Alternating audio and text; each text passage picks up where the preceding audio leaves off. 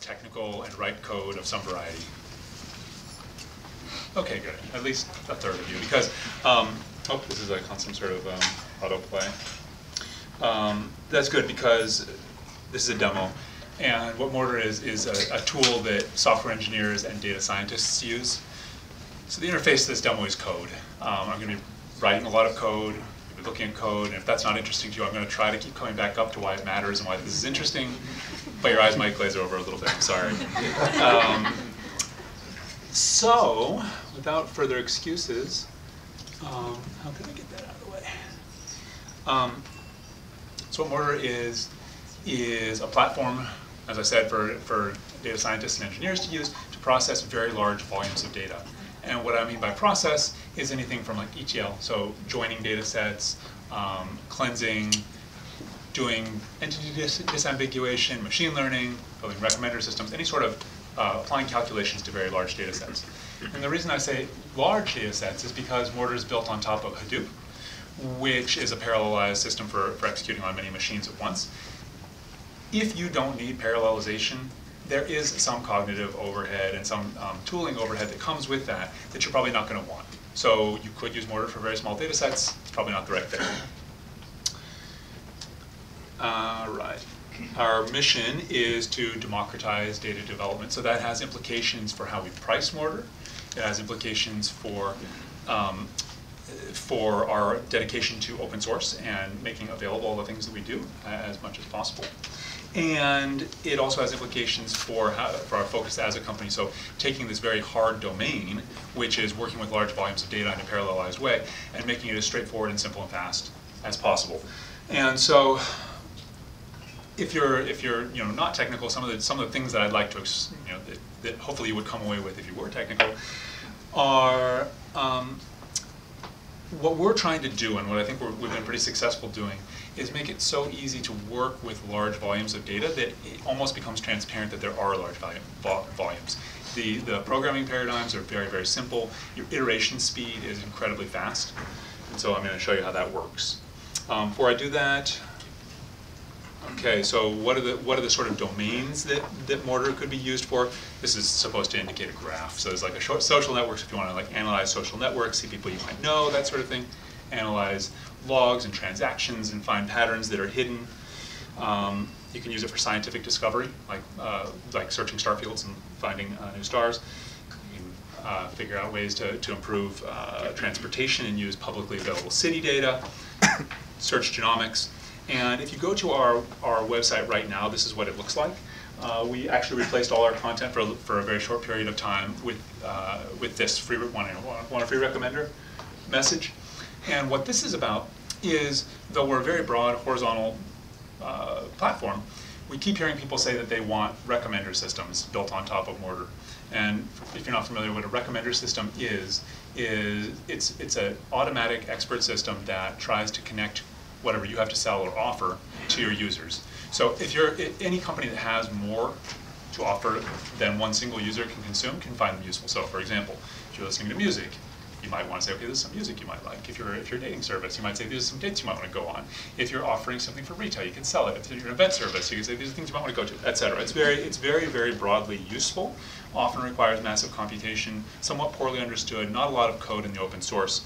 So what we're doing right now is building with 10 companies, uh, 10 custom rec recommender systems, and taking all the reusable generic components out of those, open sourcing them, and anything that's custom to your domain or data or code, you own after that. And we're working with these, these data scientists, Hilary, Max, and Drew, to do that, to build really great recommender systems. Um, I don't know if you're familiar with their names. They're, they're some of the badass data scientists of New York.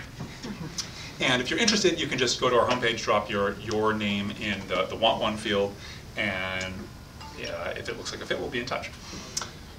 Okay. There are two ways to use Mortar. Um, I'm, I'm, almost to the demo part. Sorry about all this rambling. There are two ways to use Mortar. There's there's web-only projects, and the value of them are that it takes zero install and you can start using it right away. I'll show this first. And it's totally free to use, except for when you want to actually run in parallel on a massive Hadoop cluster. That has costs because there's actual infrastructure costs underlying that. Second way is a standard Mortar project, which is a local install. Um, it's only one step to install it. it's extraordinarily fast because it's using your local machine, and I'll show you some other stuff it's doing with um, using small samples.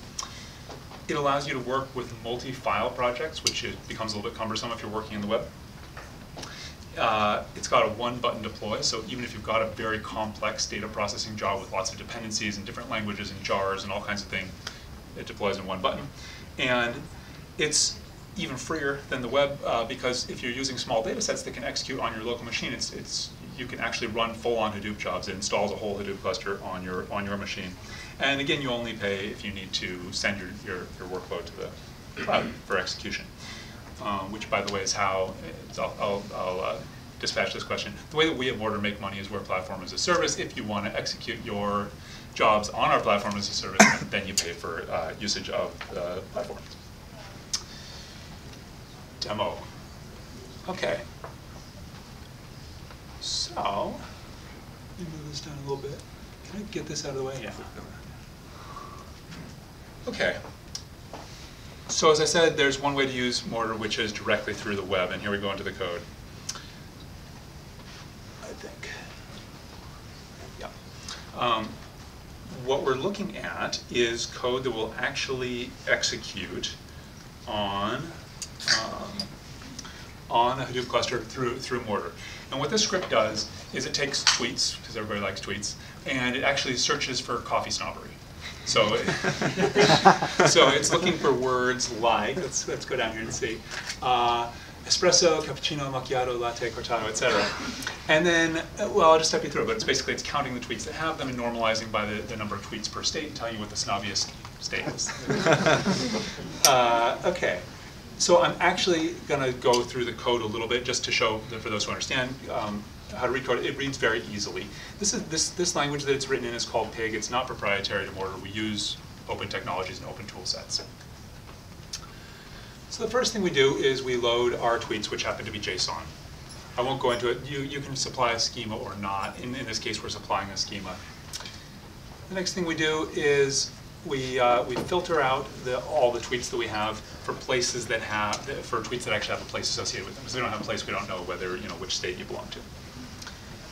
The next thing we'll do is for each of the tweets that has a place, we're going to um, do some parsing of the data and uh, determine which state it's in because the, the, the, place comes with a city, I think, comma, state names. We actually do some string parsing. And then here we're determining is whether the tweet's about coffee. So this is now a call out to Python. In Mortar, you can use real, um, real Python to do whatever you want to do. So if you use NLTK or NumPy or SciPy, this is a great way to distribute these really sophisticated libraries, or even your own, um, onto Hadoop. So is coffee tweet, it's not very interesting code. Basically, it does a little bit of string parsing, determines whether the, the tweet has any of these uh, phrases up above.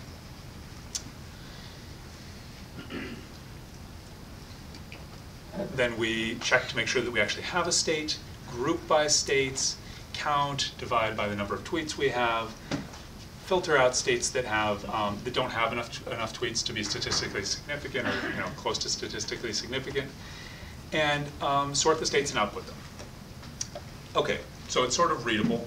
Um, for those of you that aren't familiar with with writing code that runs on Hadoop, oftentimes what you're writing is very backwards. You're using, using a paradigm called map, MapReduce, and it can be to, to write, hard to understand. The point of me talking through that was, well, one, it's easy to understand, and I'm going to come back to those different steps in just a second. So one of the first things we can do that's, that's uh, interesting is we can, we can validate the script. And so what it's doing is it's checking the syntax of Pig, it's checking the syntax of Python, and it's actually going and making sure that we can access the data where it's sitting. In this case, I think it's reading from S3. So it's making sure that all our permissions are right. The value of doing this is it saves you a lot of time if you say, okay, this is a script that will actually run, versus, say, if you're running your own Hadoop cluster, you're submitting a job, or if you're running on Elastic MapReduce, you spin up a bunch of uh, machines, distribute the code, start it executing, and it dies saying, oh, you have a you know, typo. Um, that's also costly. Okay, so project is valid. We got this little green bar up here. Next thing we can do, which is even more interesting, is, actually I don't want to do that. Um, we can illustrate the script. What this is doing is looking at the uh, every step of that code that I just went through, taking a big sample of data, um, actually creating a, a directed acyclic graph or a DAG of that execution, and trying to get full coverage of all that code with the data. So it's trying to sample, let me put that in more standard English. Um, what it's trying to do is uh, sample data that will exercise every single execution path you have. So if you have a filter statement, it will try to get um, some data that filters, some that doesn't, so you can see what's happening. And what's happening down here in the illustrate is each of these, um, this tweets, and then as we go down, um, tweets with place. These are the different steps in the pig script above. And what we're looking at is the, the, the, the loaded data. Um, and then here we're looking at the loaded data that actually has a place. And so you can see um, sample rows that are coming in and exactly what's happening to them as they progress through the script. Okay, now here's Sierra's mom. Oh, I, yeah, right. Uh, I didn't know that was going to come up. Um, so here, here's, here's the, the, tweets that are coming through. It turns out that in the sample that we were looking for, none of these uh, tweets is actually about coffee. Okay, because we, we, we, take a big we take a big sample, but uh, but it's a, it's a best effort algorithm, and if you don't find any that are about coffee, we still want to return, so you're not just waiting forever. And so ultimately, it says, okay, well, none of these are about uh, about coffee, and so there's nothing to there's nothing to output. There's a little bit of um, printf style output that's happening here within the Python, which if you've used Hadoop is actually a bigger deal than it sounds like. It's collecting the, the print output from any of you know your 50 or 100 machines that you might be running on. So okay, we you know we either think it's all right or we don't. In this case, I know it's all right. I'm going to show you in a minute how we would be more confident that it actually is doing something, even though it's not finding any coffee tweets. Um, but I'm going to show you how you run. So you run, you want to start a new cluster, okay, let's put it on five machines. And there was uh, some parameterization in the script. So it says, okay, this is where we're going to write to, is this, this output directory. So okay, run. And what's happening is we're actually now, your job has been scheduled to run. You can monitor its status at the job details page. So we've just, I'll just go over to it actually. We're validating the script again before we actually spin up a Hadoop cluster. The next step is going to spin up a Hadoop cluster, distribute the code, get it executing. And I will come back to this at the end of the demo. Um, and hopefully we'll, we'll be done by that point. I'll be able to show you the output. Um, there's other stuff that I will not show you right now. Um, so what's happening is, oh, I guess I could quickly show it. So what's happening here is we have, we capture a snapshot of the code, yes, five minutes? I'm skipping that. So the, the web, the, uh, the, the web application here does the sort of things you'd expect. It, it snapshots the code you ran with the parameters you ran against what data, where the data ended up, so you can so you can download it in one step. So it's giving you a full history of what you did, how, so you don't lose track of it. Um, it'll be tracking all your logs. If there are errors, which there aren't in the script, it'll point you to exactly where they occurred, how to fix them. Slowdowns, it'll it'll highlight them and um, help you fix all that stuff. So, next, taking inspiration from Rails, which is a web application. Its big uh, contribution, I think, to the field was uh, this idea that, that you could have, a, you should and could have opinions about how things could be structured, and if you did that, well, then there's a lot that we could do for you for free, and as new engineers would come to a project, they'd know where to look for things. We applied these same ideas to data development and, and created a basic project structure that goes along with a local install of Mortar on your own machine. So demo of how to run on your own local machine. If you want to install Mortar at home, I'm not going to do it because I don't want to take the time to, to, to you know, download and install. It's, it's that easy, so it's gem install Mortar. Uh, then if you want to get code, it's, uh, if you want to get somebody else's code, so you're collaborating with them, it's just a matter of, you know, git clone and the repo name, and you, you can pull it down. You can also, just like Rails, auto-generate a skeleton project that can run. I've already done these things. So I'm actually inside of a Mortar examples project, which is all in our README if you want to see these examples. Um, so I'm just going to show you what, we, what they look like. Uh, we have a lot of different um, examples in, in here. So, oh, this is uh, not my machine. It's got even way too many examples. Uh, so it's got things in it like airline data and showing you uh, historical information about how which airlines and which uh, locations were particularly slow. It's also got the coffee tweets that we were just looking at. Um, and so this is the same code that we were just seeing. Now running this locally, we can do the exact same things we just saw on, on the web. So rather than type, I'll be a little quicker. Save, okay. So, oh, yeah, all right. So you can, you can run everything here locally that you put on the web. Mortar, local, illustrate, coffee tweets. And that warning is actually because I'm going to show you something that isn't, isn't actually released to the public yet. Um, so I'm using something that's newer than what you can, than what you can download. Um, and very quickly, we've got the same output with this that we saw with Illustrate. And it was much, much faster. I don't know if you noticed, this was about three or four seconds instead of like 15. Cool, very nice, but even better, we can do Mortar, this is the part that's not yet quite released, local watch, coffee tweets. And I don't know if any of you are familiar with uh, Lighttable, but it's, a, it's an IDE that's very popular on Hacker News right now, um, where the concept is you should be able to write code and at the same time see exactly what's happening in a separate pane as, as uh, data is flowing through. And um, what we're going to see is we're now watching coffee tweets.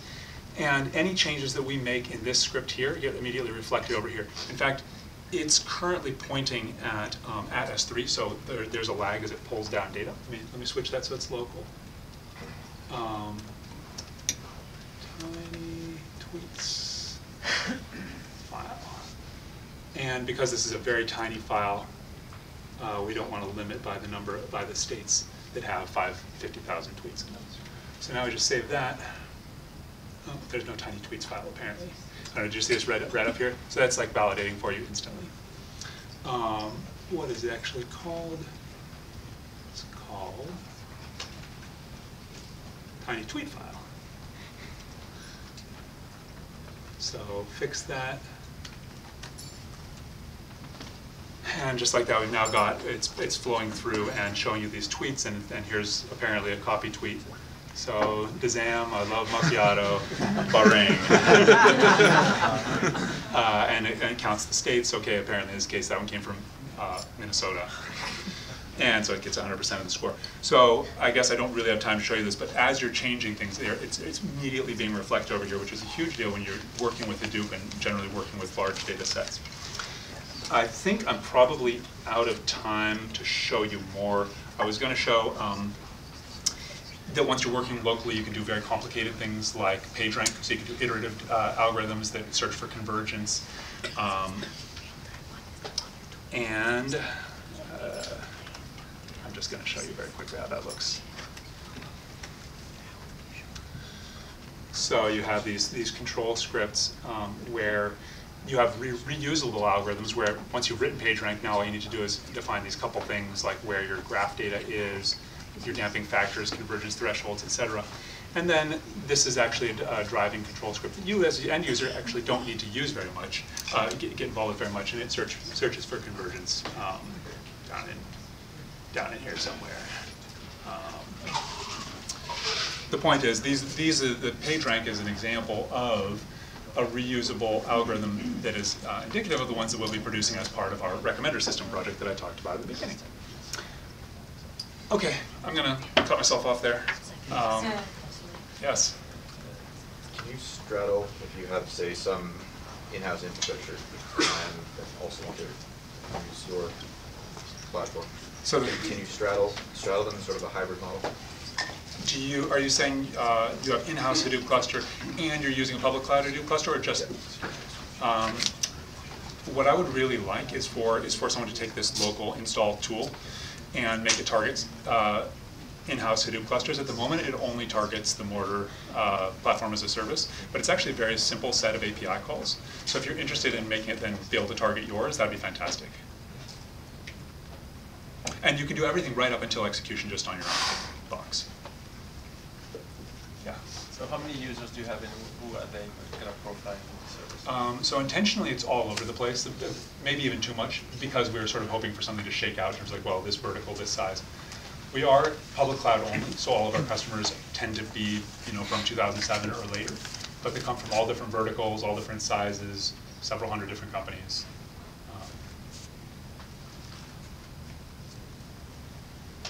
Um, yes? Who do you see as your uh, key competitors? there actually aren't that many competitors in this space. So that's to say, targeting engineers and data science users uh, to do querying like a SQL-like interface. The closest ones are probably Continuuity and Qubole, but, you know, we're, we're certainly distinct from each other in the market. What about uh, Amazon? uh, Elastic MapReduce. We actually build on top of Elastic MapReduce, and and uh, they're a big fan of what we do. We actually won grand prize at the um, AWS Global International Startup Competition in the big data category a couple months ago. So you're on top of it. Yeah, that's right.